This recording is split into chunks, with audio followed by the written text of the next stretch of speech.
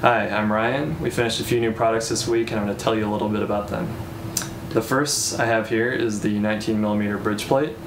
Now this bridge plate is built to ARRI standards, so it uses an ARRI standard dovetail. Any uh, dovetail you can find from any other uh, reseller that's built to the same standard will work with this bridge plate. And you'll see that there's uh, rows of 3 8 screw holes. Currently these are in position for uh, Red One or ARRI cameras, which these use uh, 50 millimeter center to center spacing. Uh, if you're going to use this with an Epic, you'll want to use our Easy Riser, which will give you the correct lens height. Uh, or any other um, third party Epic riser should be built to the same standard. The second part we have is a bolt on dovetail, which is great for if you're using a Manfrotto head or any sort of um, tripod plate that has a Euro quick release or a sliding tripod plate.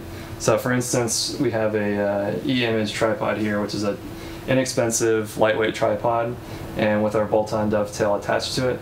And to adjust the counterbalance, you'll just undo the lever and you can slide the bridge plate back and forth on the dovetail, clamp it down where you need, and you're ready to go. These products are available in our store now.